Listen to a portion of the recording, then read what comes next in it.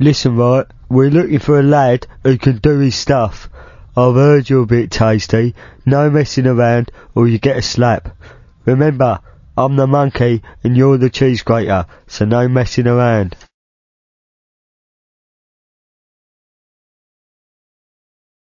Just a little bit pleased with yourself, ain't you? And rightly so, rightly so. You're on the way to being a big face in this filthy cesspit. You done me a few favours, so I'm going to do you a very big favour. You and me now, and the Crisp twins are getting on a bit. In a few years, I'll be taking over the whole bread basket. And if you got that special something, you can too. Now stop loafing around and get to work.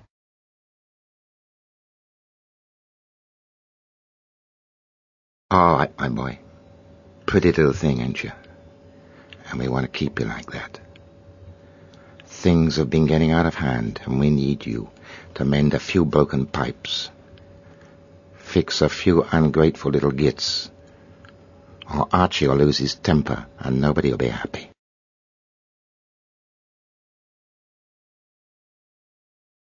Gordon Bennett, that was some firework.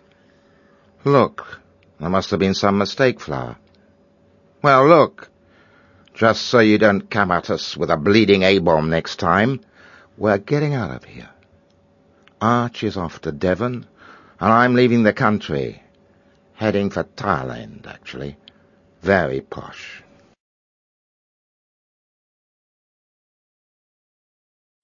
Listen, right, we've heard you're a boy who can do his stuff, and by hookers and by crooks, you've proved you ain't bad. Yeah, ain't bad at all, sunshine, know what I mean?